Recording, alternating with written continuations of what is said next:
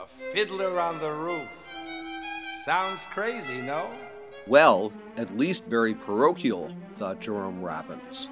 If he was going to direct and choreograph a musical with a Jewish sensibility, the story had to be universal. It couldn't just be about a dairyman finding husbands for his daughters.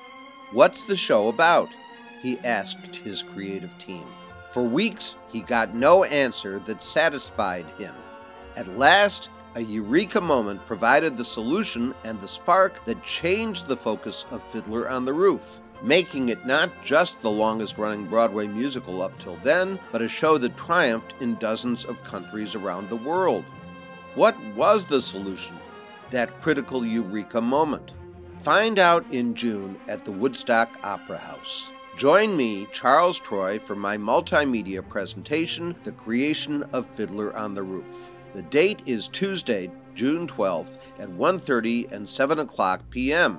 Prices are $10 for the matinee, 15 for the evening show, and all proceeds go to 10 different Woodstock nonprofit organizations.